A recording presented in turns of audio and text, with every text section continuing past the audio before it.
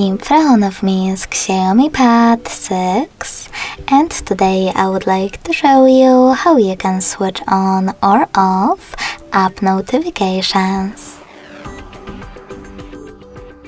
First of all, go into devices settings and scroll down to access notifications and control center. After that, tap on app notifications and click on the switcher next to one of your apps from which you want to block them, like Google Play Store. You can switch them back on the same way. If you want to, you can always tap on one of your apps located on the left and manage all notifications from here.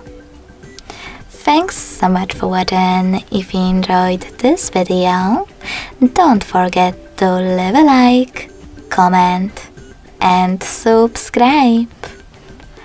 Bye!